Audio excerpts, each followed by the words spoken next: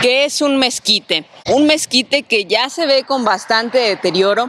También podemos apreciar al fondo cómo es que sus ramas o el crecimiento se hizo de costado, por lo que ya con los años se ve que pesa muchísimo. Vemos la tierra deslavándose, algunas de sus raíces ya expuestas y si lo tres, y si lo jalamos un poco, lo podemos sentir hueco.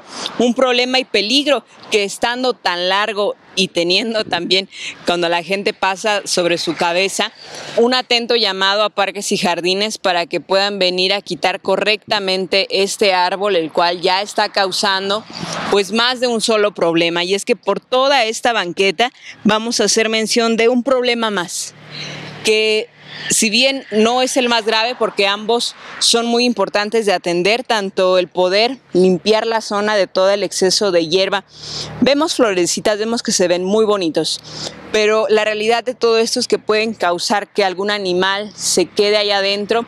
En esta época y por esta zona suelen haber pequeñas viboritas, no venenosas, pero sin duda el susto que se lleven sí sería de impacto. También Gracias a toda esta hierba, pues los niños se pueden atorar, caer, sufrir un accidente. La carretera está justo a un lado, por lo que sí es muy importante. También retirar el árbol, otra situación muy puntual, pero lo que sigue, una situación muy peligrosa el exceso de arañas en este sitio.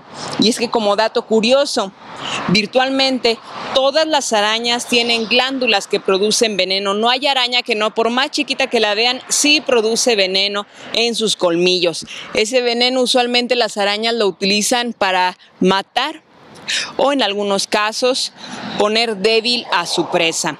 En el mundo existen solo dos arañas que tienen veneno realmente tóxico o letal para los humanos. Una de ellas es la viuda negra y la reclusa marrón. Arañas que sin duda no es ninguna de estas. Pero estas arañas sí causarían una picadura fuerte y sobre todo dolorosa, por lo que hay que tener mucho cuidado cuando se transita por este tipo de banquetas que tienen mucha hierba o que tienen mucho crecimiento porque es ahí donde se llegan a presentar esas arañas. Estamos viendo en pantalla una situación muy peligrosa porque una picadura de araña no hay que tomarla a la ligera y esa es solamente una. Podemos caminar solo un poco más y nos podemos percatar de la presencia de otra araña. Y es que son arañas grandes. Nosotros que estamos aquí si la midiéramos, esa araña mide aproximadamente 3 centímetros. Imagínense en casita si tienen una regla el tamaño de estas arañas. Ahí está una, otra. Hasta el momento hemos contado cuatro arañas. Solo caminamos un poquito más y ya nos encontramos con otras tres.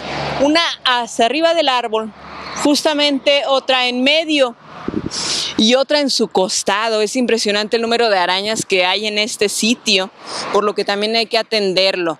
Hay que tener una limpieza. Estos animalitos, aunque parece que dan miedo y algunos en casita les pueden llegar a tener hasta pavor, no hay que matarlos, son seres vivos, no le hacen daño a nadie, las arañas solo pican cuando se sienten agredidas o necesitan defenderse en el caso de que tal vez si estuvieran escondidos en una caja de zapatos y ustedes metían la mano, picaría la araña, pero ahí donde están no picarían, por gusto no lo hacen, pero por ejemplo si alguien va pasando y se lleva la telaraña o choca con la telaraña, lo sienten las arañas y es ahí donde atacan, por lo que sí hay que retirarlas de una manera consciente, sin lastimarlas.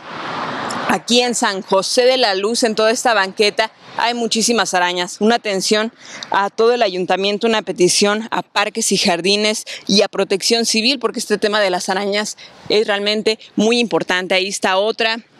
Y acá otra, hay muchísimas.